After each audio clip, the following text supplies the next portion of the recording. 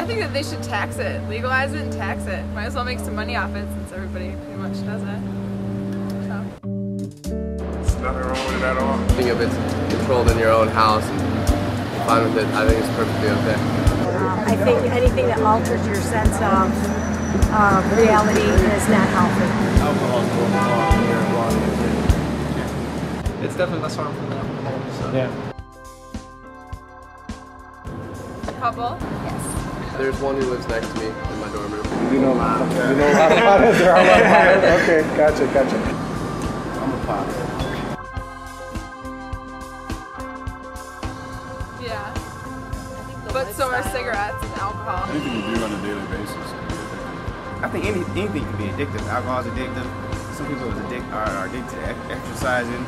People are addicted to stealing. You know, anything is addictive.